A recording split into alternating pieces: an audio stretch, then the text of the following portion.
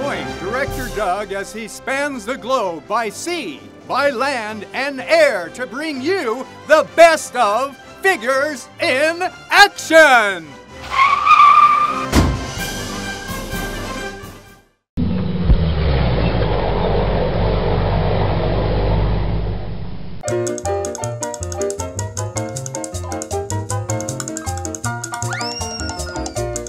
Well, hi there, ladies. Hi.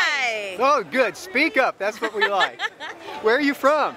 Minneapolis. Minneapolis, like in Minnesota? Like in Minnesota. Wow, you didn't run or drive. Did you fly? Swam. We swam. Swam. you could do anything you wanted in those outfits.